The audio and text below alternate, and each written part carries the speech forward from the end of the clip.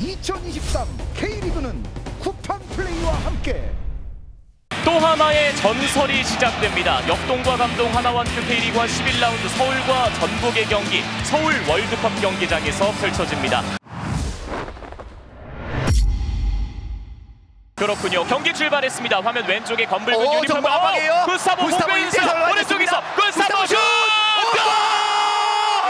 골! 이게 무슨 일입니까? 경기 시작 30초도 안 돼서 구스타보의 선제골! 이 리턴을 그냥 두지 않고 강력하게 그냥 압박을 해버리면서 와 이것을 그대로 선취 득점으로 시작하자마자 연결시킵니다. 효과적인데 자 지금 꼭 뺏긴다고 뺏어냈어요. 어, 자 그대로 갑니다. 왼쪽에 걸렸고요. 정원하고 오! 나사고 나사고 살아있어요. 뒤쪽에서 슛! 슛! 다시 한번 막아냅니다. 골이에요. 골이에요. 들어갔어요. 임상엽! 아. 임상협의 동점골. 나상호 선수에게 갔고요. 이것을 몸싸움에서 이겨내면서 아, 기가 막히게 접었어요 여기서. 여기서 막혔고 걷어냈긴 했지만 맞고 이것이 그대로 파울 상황이고 두 번째는 이 핸드볼 상황 임상협 선수가 손에 맞았군요. 아. 네. 기성용과 오스마르 팔로세비치가 자 나상호 잘 깨주고 골 김진야 받았어요. 김진야. 크로스 오, 반대편.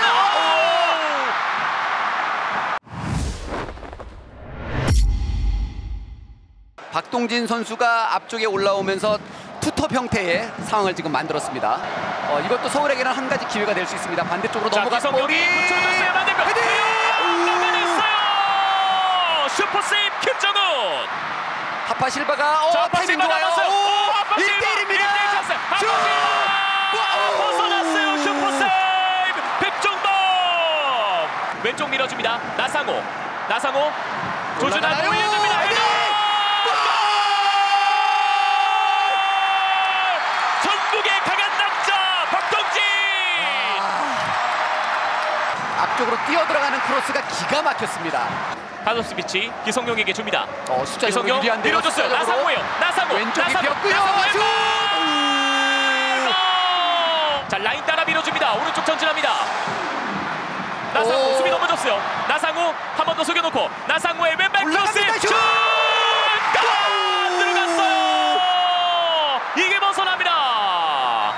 경기 끝납니다. 경기 끝났습니다. 99 번째 전설 매치 두 팀은 우열을 가리지 못했습니다. 1대1 무승부로 경기가 종료됩니다.